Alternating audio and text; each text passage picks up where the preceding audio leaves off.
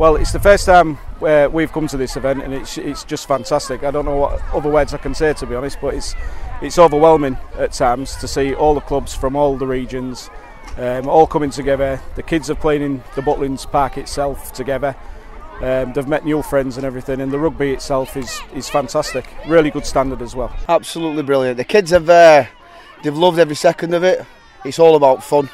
Uh, there's no there's no hassle from anybody. Yeah, it's well set up.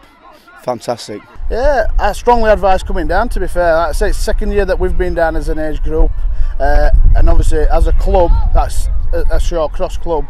We advise that basically just enjoy it, just come down, give it a shot, and I guarantee you will be back the year after.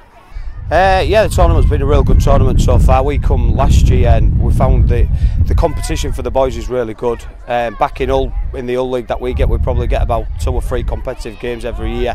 But here we challenge ourselves against the best teams in Yorkshire, and, and last year it was Lancashire as well. And it, it, it, it does the boys really well. We're learning all the time. Every time we come here, win, lose, draw, the boys enjoy it. They love being together, and it brings us together as a team. Yeah, fantastic. Kids have loved it not just not just my team obviously. There's, there's, a lot of teams out there some really good teams and all. Uh, strong strong performance and yeah enjoyed every minute of it. It's been brilliant hasn't it? Yeah. the boys have had loads and loads of fun. Uh, played four yesterday had a really good time. Um, yeah it's been brilliant really good so far.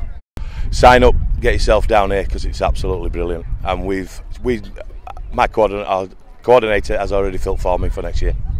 So we're coming again oh, 10 out of 10. You've got to, you've got to turn up. You can't really tell people how good it is. They've got to be involved. It's not just the rugby. It's the getting everybody together in the same place and just bonding as a team. Um, it is well worth it as a team and a coach.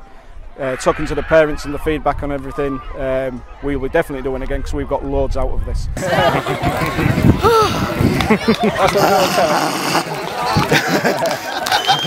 it's well well worth it, not just in, in terms of value of experience for the rugby team, but as an enjoyable experience for all. Once you come, I don't think you'll ever not come back. I think it's so, so good to miss.